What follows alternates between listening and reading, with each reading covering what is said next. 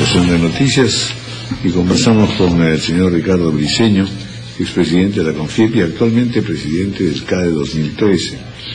Un CADE que sin duda tiene un particular interés y que ha sido cuidadosamente preparado, estamos a 20 días del inicio de la 51 edición CADE 2013 en Paracas, del 27 al 29 de noviembre.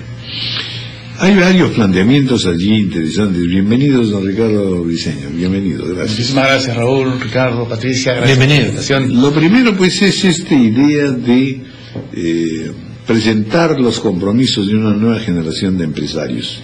Es una idea estupenda, reclamada en algún sentido en varios sectores de la economía y, de, y del desarrollo político y social. Lo segundo, en realidad, es que va a haber también conferencias magistrales de tres personalidades que son en este momento figuras muy señaladas en materia sobre todo de emprendimiento empresarial y de capacidad de buscar otros ángulos para solucionar problemas y desigualdades nacionales.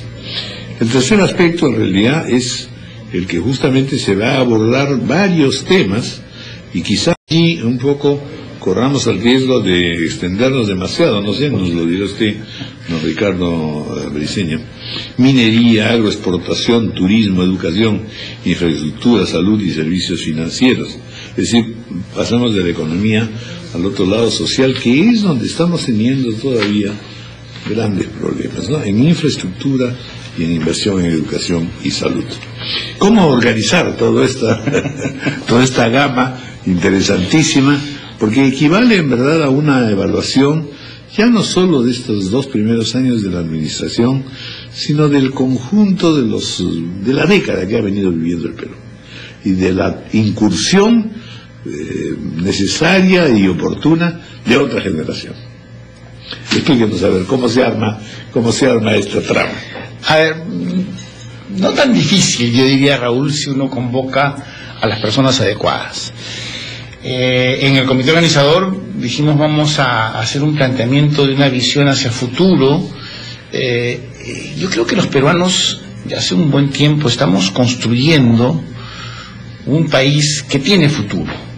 Yo creo que hoy día los jóvenes empresarios que hemos convocado quieren que sus hijos crezcan en este país quieren hacer que este país sea un país donde uno esté orgulloso de ser peruano, donde uno esté orgulloso de tener a sus hijos, donde uno quiere que las nuevas generaciones continúen un nivel de desarrollo económico y social. Entonces convocamos a estos jóvenes que son padres de familia, que son grandes empresarios, que han nacido a la vida económica en un país abierto al exterior, competitivo, con reglas de juego claros, con una economía eh, estable y que requiere, que esa es la conciencia de los empresarios, la participación de la empresa privada y de la inversión privada para generar procesos de desarrollo.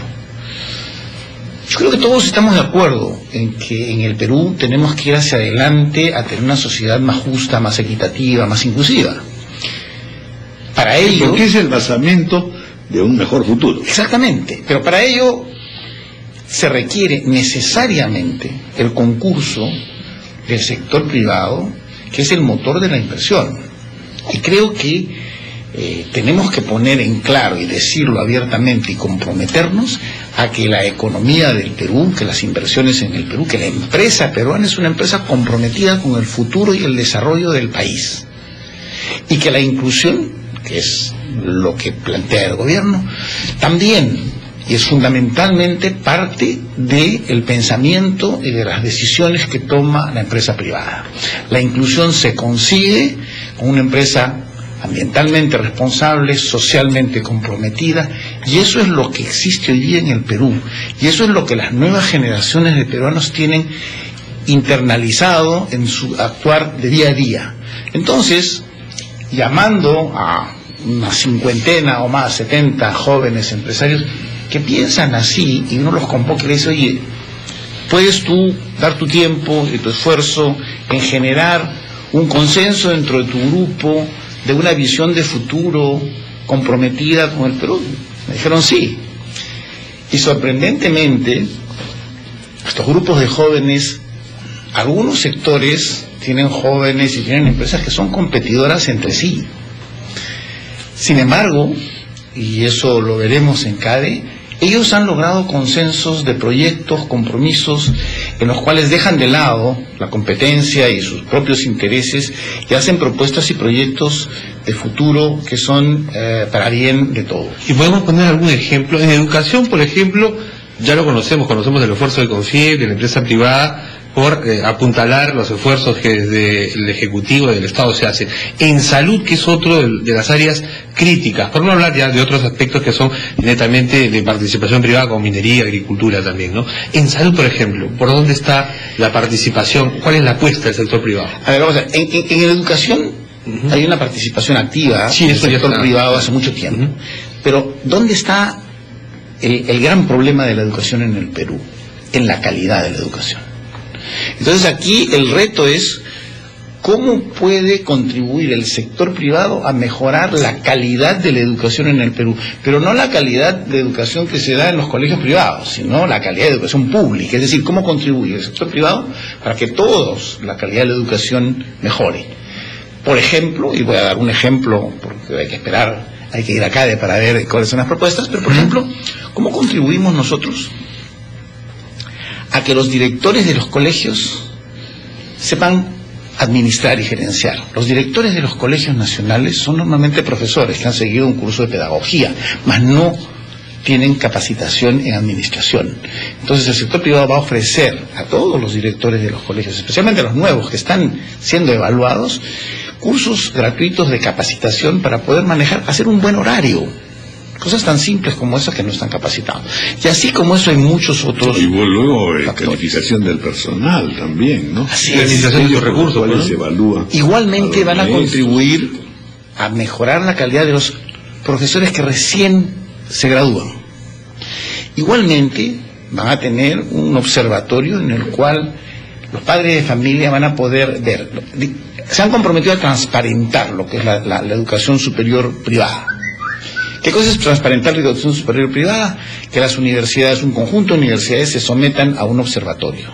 Es decir, pongan en la web toda la data de a dónde han salido sus exalumnos, cuánto ganan, qué empleo tienen, etcétera, etcétera, para que el padre de familia pueda saber dónde poner a su hijo, porque la educación superior es una inversión que hacen los padres para el futuro de sus hijos. Entonces, transparentar eso. Y en el caso de salud, por ejemplo, también es contribuir por ejemplo, a la reducción sustancial del costo de las medicinas genéricas. Hay un compromiso, y ahí esto se va a presentar en CADE, cómo el sector privado puede colaborar para que, uno, haya credibilidad sobre la calidad de, las medicinas genéricas y dos, se abarate el costo de ellas. Son ejemplos de cosas que se están planteando. Vamos a hacer una pausa y continuamos.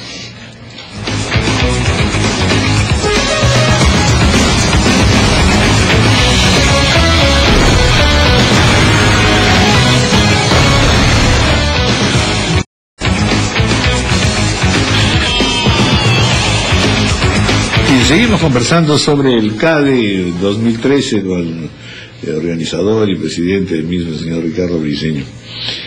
En lo que usted nos venía explicando, eh, don Ricardo, yo eh, creo advertir que además no es la primera vez que eso ocurre en los CADES, que en realidad, más que una reunión de empresarios, generalmente es una reunión de dirigentes vinculados con el desarrollo y con, eh, eh, en fin, el mundo empresarial, que o se quejan de cómo va la administración, o creen que en realidad pueden y deben intervenir en esta administración para cambiarla.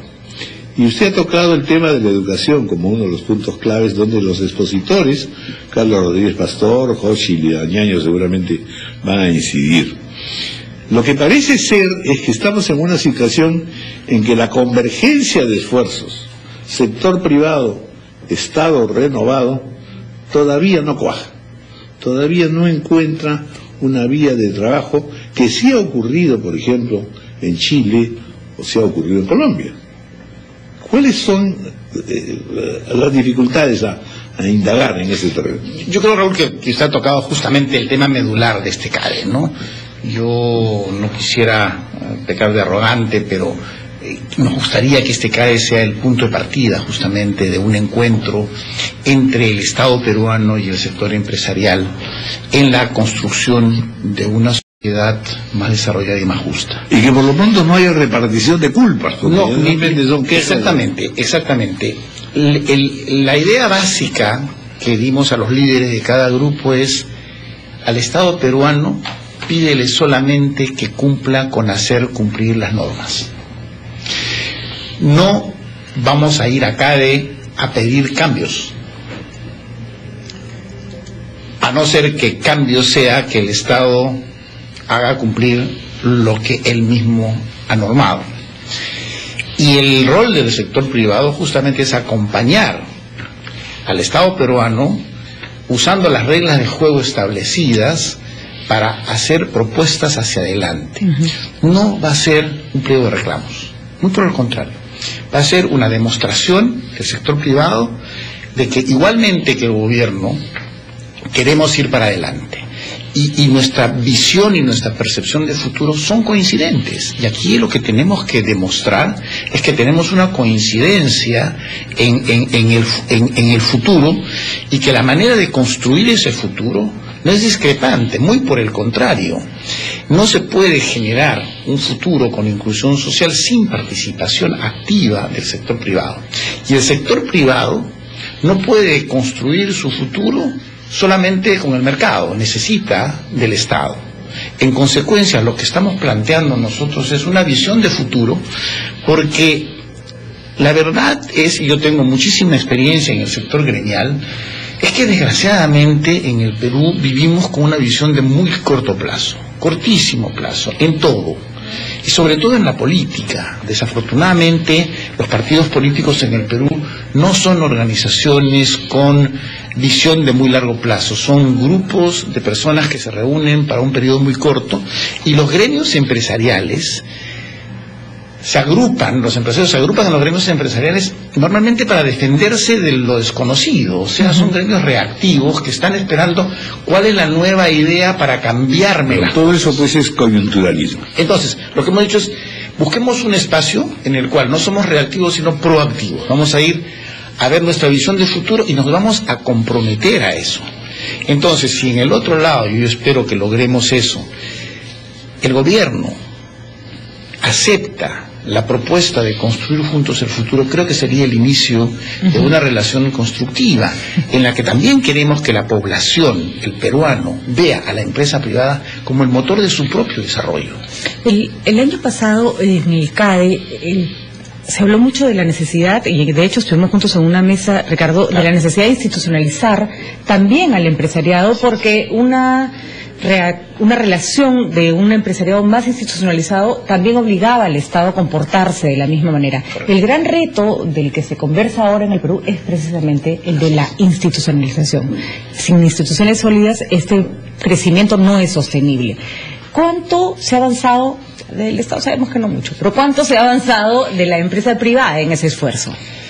Bueno, justamente, eh, como te decía, gran parte del trabajo de los gremios es un, un trabajo reactivo y eso no genera institucionalidad es. porque eso es justamente salir a defenderse de la improvisación y la institucionalidad es un conjunto de reglas y normas que tienen que tener un objetivo hacia futuro.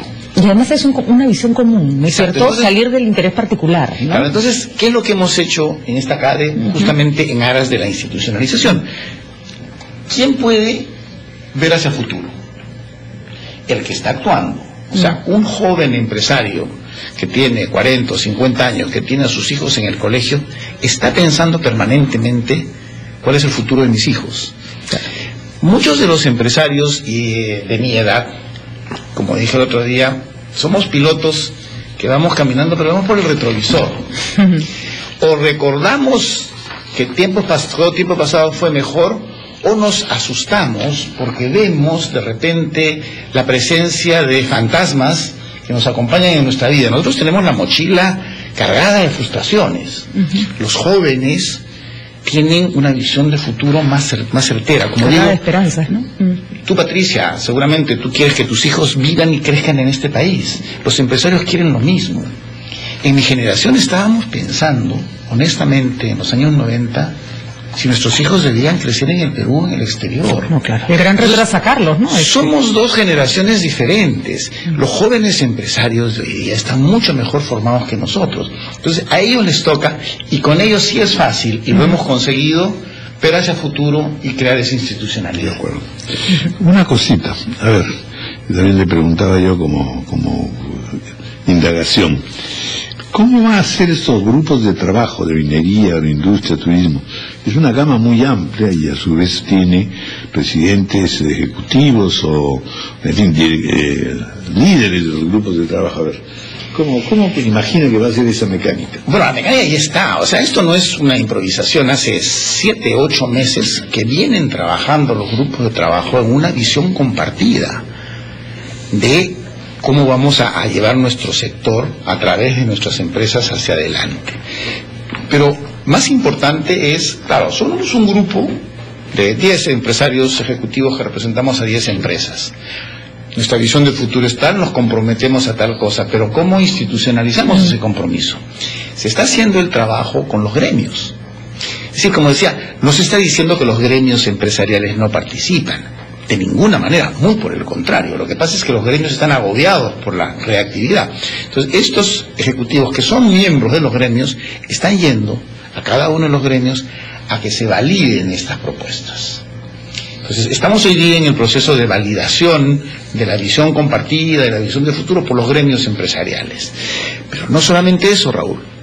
Esperamos llegar acá dentro de 20 días con una conversación con las autoridades del Estado peruano, el gobierno y el Estado, las instituciones, las organizaciones del Estado que rigen, en muchos casos, los destinos de nuestros sectores. Por darte un ejemplo, en agricultura, el, la entidad más importante del futuro de la agricultura en el Perú se llama SENASA, no necesariamente el Ministerio de Agricultura. Para infraestructura son los organismos reguladores y proinversión. Entonces, si uno tiene una visión de hacer algo hacia el futuro, tiene que compartirla y validarla con estas instituciones del Estado peruano. Y eso se está haciendo. Y yo espero que lleguemos al 20 de noviembre con un compromiso entre las partes y que esto sea el inicio justamente de una nueva relación entre el empresariado y el gobierno del Perú, como digo, para una un, un futuro compartido. Señor Ricardo Briceño, gracias por haber estado con nosotros. Nos vamos a ver, por supuesto, en Paracas. Muchísimas Y gracias. este, estamos listos para eh, participar de un acontecimiento bastante significativo. Los esperamos, sabemos que RPP es el medio más escuchado y visto del país. Será un placer para nosotros y seguramente para los decenas de empresarios que van a participar poder este, intervenir a través de RPP. Muchas gracias, Raúl. Muchas gracias, Patricia, Ricardo. Muchísimas gracias. Bueno, nueve y un minuto de la mañana hacemos una pausa.